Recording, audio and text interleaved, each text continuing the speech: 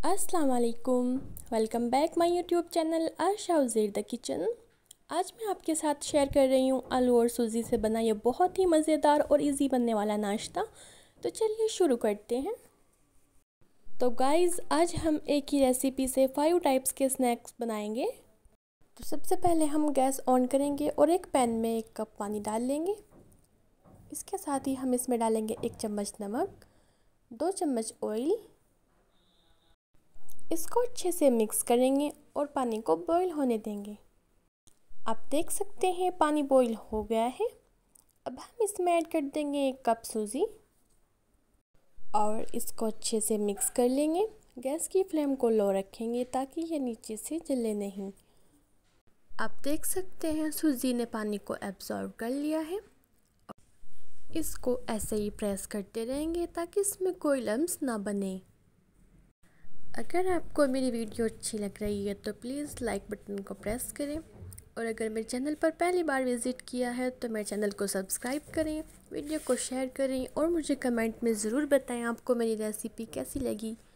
Gas को of कर लेंगे और तीन से चार मिनट के लिए इसको ढक कर रख देंगे। जब भी थोड़ा ठंडा हो जाए तो इसको एक प्लेट में निकाल लेंगे। ये बिल्कुल ठंडा नहीं हुआ है, अभी थोड़ा गर्म है।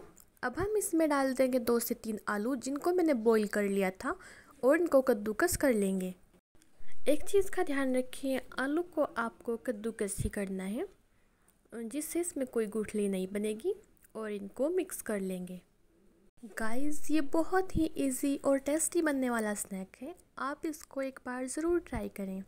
अब हम इसमें डालेंगे एक चम्मच कसूरी मेथी, एक चम्मच चिली फ्लेक्स एक चम्मच ज़ीरा, एक चम्मच काली मिर्च पाउडर और एक चम्मच अजवाइन डालकर इसको अच्छे से मिक्स कर लेंगे। अब हम इसकी एक लोई बनाएँगे और इसकी हम रोटी बेल कर तैयार करेंगे। इसको हमें हल्के हाथ से बेलना है। आप थोड़ा ऑयल लगाकर भी इसको बेल सकते हैं। बहुत ज़्यादा ऑयल इस पर नहीं लगाना है। हल्का ऑयल लगाकर इसको बेलेंगे। ये बहुत ही इजीली रोटी बेल कर तैयार हो गई है।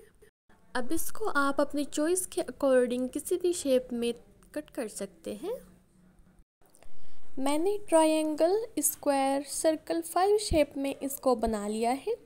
हो गया ना बहुत ही आसान तरीके से फाइव टाइप का स्नैक्स तैयार। आप इस रेसिपी को ज़रूर ट्राई करें।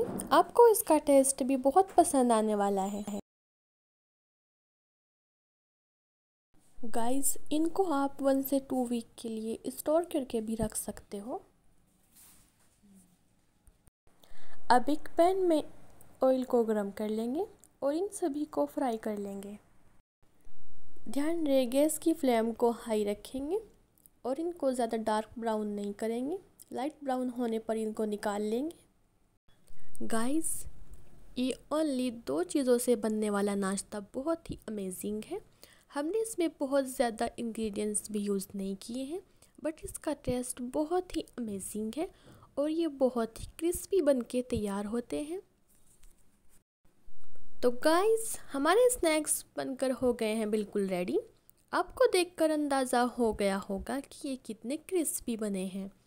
मिलते हैं फिर एक नई रेसिपी के साथ। तब तक के लिए अल्लाह हाफिज़। Thanks for watching